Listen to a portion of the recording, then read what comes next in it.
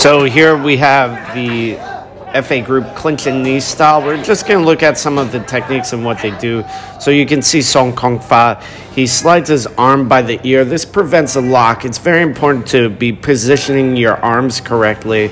You can see him grab the head, also dragging him down to launch into the knee. Then we continue to move forward. More knees coming in from Songkonfah, driving him up the middle. His trainer has punches his body. This is testing him. You see that same drag. He locks the left hand onto the right and is pushing him into the ropes so he can get space for that big launching knee. Then the two continue on. You see more hand positioning there. Again, that strong knee up the middle. It scores a bit different. He presses forward with the forearms to push the opponent back and then walks into these big damaging knees.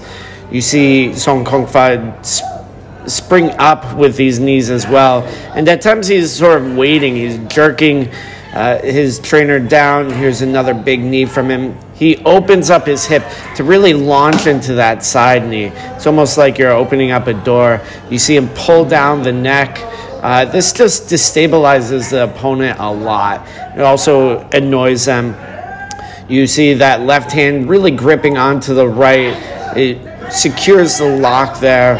Then there's more arm control moving into that sort of classic dominant position. The knees going right up the middle. And he starts to really repeat these knees just for conditioning.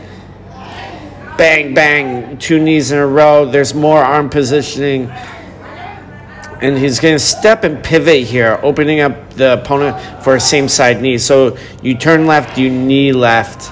Uh, you want to knee into that open side. Here's more of that arm positioning around the neck, and he drags his opponent backwards.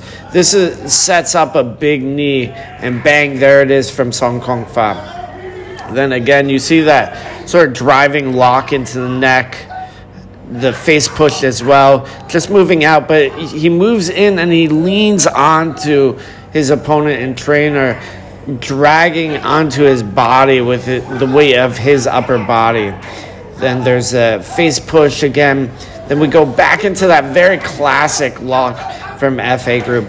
Each time he's springing off the ball of the foot for the knee, gives it more power, more explosion. And he hooks onto the bicep there to control the clinch and prevent elbows from coming in. Then that also opens up the side for the knee. Here's more arm control. Then we go into the lock again and he's going to jerk and drag him down for a knee. You see how he fell forward there. The trainer fell forward. That gave Song Fa a better knee. He's just managing the distance between the two with his upper body. He uses his forearms to create more leverage for the knees.